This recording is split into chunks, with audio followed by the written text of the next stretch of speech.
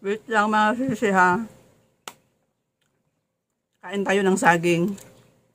Kahapon kasi Sunday, bumili kami ng saging.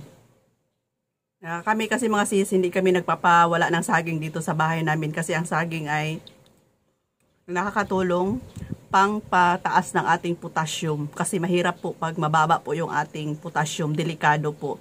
Kaya kailangan kain tayo ng saging.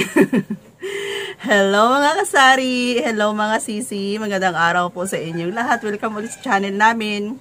Ako nga pala si Ate Rose ninyo, ang tendera ng bayan.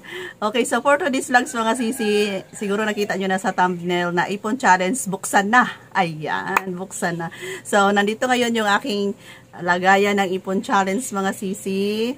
Tapos, may nakalagay dito na business permit kasi kailangan daw pag mag ano daw tayo mag-ipon. Kailangan lagyan daw talaga ng pangalan kung para saan. Kasi sabi nila para ano daw sa malas kailangan i-ano mo talaga kung para saan yung ipon challenge mo. Kaya naglalagay talaga ako ng pangalan kung para saan ko gamitin Okay, so bago pala tayo magpatuloy tungkol sa ating ipon challenge mga sisi, gusto ko munang pasalamatan si Sis Lia Katap. Ayan, thank you so much Sisi kasi sabi niya, Ate Rose first na naman ako.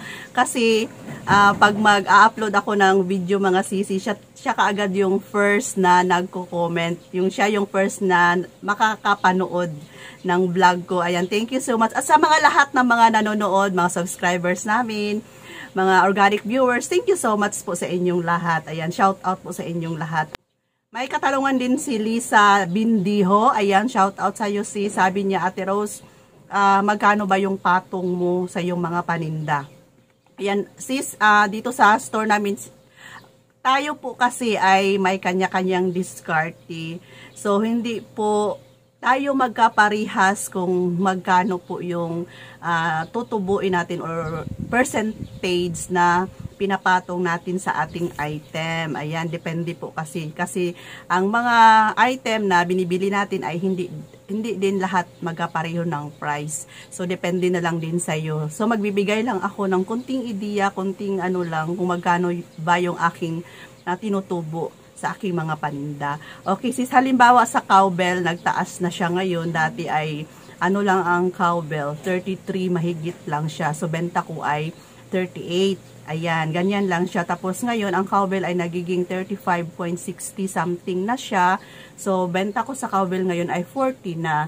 So, ganyan lang ako magtubo. Tapos, halimbawa sa Nestle Cream, 72 na dito sa amin, mahigit 72 na, benta ko ng 78.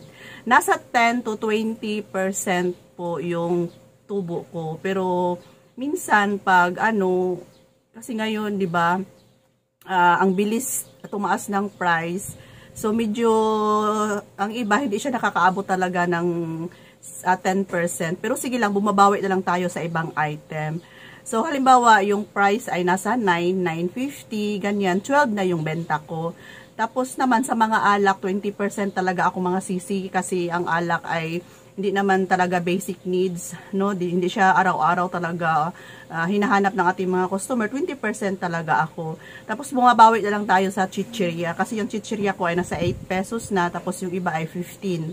Yung mga, mga piatos ko 15. Kaya tulad ng sinabi ko, hindi po tayo pareho ng price kasi yung piato sa ibang lugar ay nagtaas na, nasa 16 to 17 na po yung, ano, yung price. Ayan. So, ganyan lang po sis, uh, depende na lang din sa iyo. Basta, ano lang, level lang po tayo, minimum lang po tayo sa 10 to 20% po tayo. Ayan, so balik tayo sa iPhone Challenge. Okay, so mga sis, alam nyo, napakalaking tulong talaga na meron tayong ipon challenge, di ba, araw-araw, uh, gumagasto tayo, di ba, gumagasto tayo. So, pag nag-iipon tayo, hindi natin namamalayan mga sis na natapos na pala yung isang buwan, di ba, natapos na ang limang buwan, ayan. So, nakapag-ipon pala tayo. So, ang ginagawa ako, dati kasi, nagbubukas ako ng ipon challenge ko mga sisi, uh, November katapusan na. So, na ano ko na na realize ko na pag katapusan ko pa siya i-open uh, ano na kasi super busy na 'di ba yung pera na iniipon natin ay gagamitin natin para sa ating tindahan o para sa iba pang mga mga pangangailangan tulad dito sa akin business permit so yung iba kukunin ko para sa business permit para sa January para hindi na ako mahirapan kasi may permit po itong tindahan namin sa city. So, medyo malaki-laki yung bayaran namin. So, ikikip ko na yun. Tapos, yung iba ay yun yung pangbili ko balik dito sa tindahan. Kasi pera niya man. Pera man ito ng tindahan. So, ibabalik ko.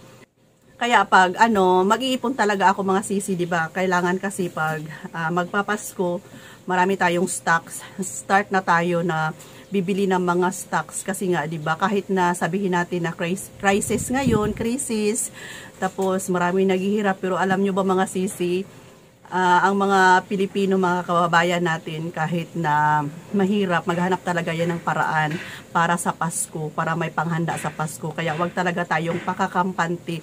May benta pa rin tayo mga sisi sa Pasko. Ayan, mabenta pa rin yung ating tindahan. Okay, so ang gagawin ko, uh, itong ipon challenge ko ay siguro next week next week aalis na ako, dahan-dahan na akong bumili ng mga yung mga laruan lang na mabenta. Pipiliin ko yung mga laruan kasi yung dati ko mga laruan, mga sis, bili ako ng bili yung iba ay hindi nila nagustuhan. May natira ako, kunti lang naman. Ayan, so pipili tayo ng laruan na yung kasya lang sa budget ng mga kabataan. Tapos, yun pala yung turutot. yung turutot pala kasi uh, tulad ng sinabi ko, nagbukas ako ng ipon challenge noong November na. So, November na wala nang turutot dito sa amin, naubusan talaga ako. Yun pa naman yung pinakamabenta sa mga kabataan, yung turutot kasi yung mga paputok ay sila pinapagamit ng kanilang nanay da, kasi delikado. Ayun, bibili na ako niyan. Kasi dati nakita ako napakaraming turutot sa palengke. Tapos pag nung time na gusto ko nang bilhin, wala na. So ganito na lang yung gagawin natin pag meron tayong mga ipon challenge. Uh, depende sa inyo mga sisiha. Basta ako ay open ko na siya, i-open ko na siya, gagamitin ko na siya. Tapos, lalong-lalo na ngayon, naubusan yung Coke. Ikakapital ko talaga ito sa Coke. Sa Coke talaga. Kaya, nag-check ako palagi kung may stock ba na Coke ang rosary para kukuha talaga ako ng marami. Tapos, mga ano lang, mga ricados para sa Pasko. Matagal pa naman. Uh, at least meron na akong pundong pera na anytime pwede na ako makabili. Okay, so hindi ko na lang sasabihin mga sisi kung magkano ang laman. Basta, ano, nag-start lang ako nung pagkatapos ko, halimbawa ngayon, October, buksan ko na siya. Ngayong uh, first day of November, maghulog na kaagad ako. Mag-start na kaagad ako. Puhon-puhon para na naman uh, may awa ang Panginoon para next year na naman. Yan, may awa ang Panginoon, i-bless niya itong ating ipon challenge. Tulad ng sinabi ko mga sisi, napakalaking tulong talaga ng ipon challenge natin, no? Kasi hindi natin namamalaya na meron pala tayong ipon, meron tayong maduduko tulad ngayon. Oo, may pera naman tayo na siguro aside sa ipon challenge natin, meron naman tayong pera na magagamit. Pero iba din kasi yun mga sis.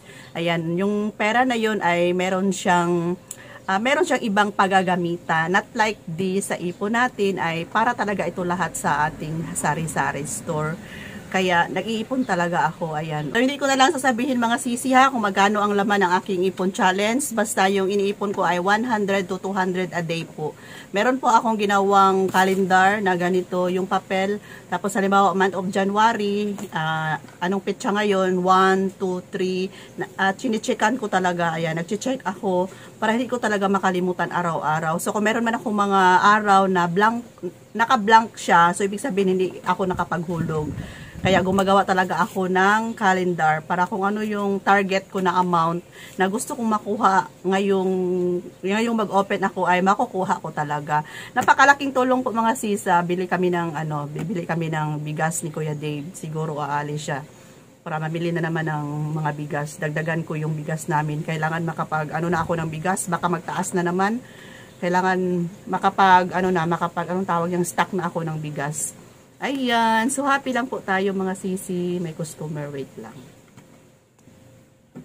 So, yan mga sisi. Happy lang si Ate Rose. Kasi meron na kaming pangdagdag puhunan. Ayan. So, sa mga sisi ko dyan na hindi pa nakapag uh, ganito, nakagawa ng mga ipon-ipon challenge, siguro may mayroon pa rin talaga mga sisi ko na wala siguro pa nakagawa ng ganito. Tulad ng sa akin noon 2 years ko pa lang itong nagawa. Nag-iipon naman ako dati mga sis pero hindi sa ganito na may lalagyan. Ayan. So ginawa ko talaga to and shout out kay BFF EG Kim po vlogs. Nakita ko kasi sa kanya dati na nag vlog siya ng ganito na nilagyan niya din ng ah, para sa business permit niya at para sa kanyang sasakyan yung maintenance niya. Kaya ginaya ko si BF, BFF EG Quimpo Vlogs. Ayan, BFF ko po yan. Shout out sa iyo, BFF. Thank you sa idea mo. ba? Share-share lang tayo ng mga idea. Ayan, so happy lang sa Ate Rose. Thanks God. Thanks God talaga na ah, may blessing tayo sa araw-araw. Ayan, so magpapasalamat tayo sa Panginoon sa araw-araw na blessings niya dito sa ating sari-sari store. Ah, kahit na may time na matumal, at least meron pa rin pumapasok na pera mga sisi. Nakaupo lang tayo dito, ang pera na po yung lumalapit sa atin. Di ba? Hindi kailangan pa na aalis tayo ng bahay, maghanap kung saan natin pulutin yung pera. Pero kapag may sari-sari store tayo, kahit sabihin natin na matumal, pero thanks God pa rin sa araw-araw. Malaki o maliit yung ating ah, benta. Pagpapasalamat tayo sa Panginoon, di ba? Okay, so siguro hanggang dito na lang mga sisi. Maraming maraming salamat po sa inyong panonood. Kami ay may kasabihan na kapag may tinanim. Kapag may sinuksok, may maduduko. Thanks for watching. Love you all. Bye!